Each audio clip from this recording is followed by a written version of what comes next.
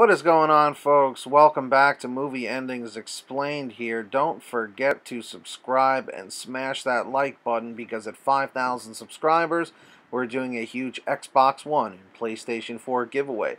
So today we are talking about the ending of Sing Street.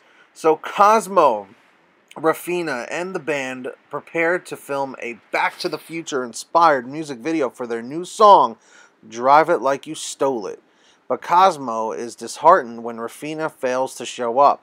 Later, she reveals that she was set to leave for London with her boyfriend that day, but he abandoned her. Deeply hurt by her lack of disclosure and becoming even more offended by her nonchalance, Cosmo breaks up with Raphina. Because of the breakup, along with his family's problems, Cosmo finds difficulty in writing or playing music. But Brendan urges Cosmo to carry on so that at least he can escape his small town doldrums and make a better future for himself. An opportunity arises for the band to play live at an end of the year party at school. Cosmo manages to strike a friendship with Barry, offering him the chance to be the band's roadie and escape the physically and emotionally abusive relationship he has with his alcoholic father, which he accepts. Cosmo prepares a new song, Brown Shoes, mocking Baxter, with the band perform as an, as an encore while distributing homemade masks of Baxter's face.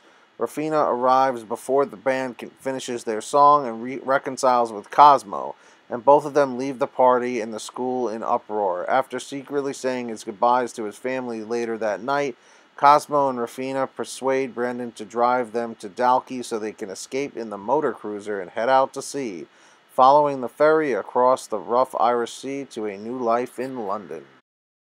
Again, thank you so much for watching this video. We really appreciate it here at Movie Endings Explained.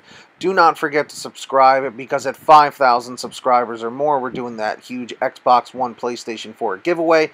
So don't miss it. Leave a like on this video and comment the secret code Yellow Dragon if you made it to the end of this video. We'll see you next time here on Movie Endings Explained.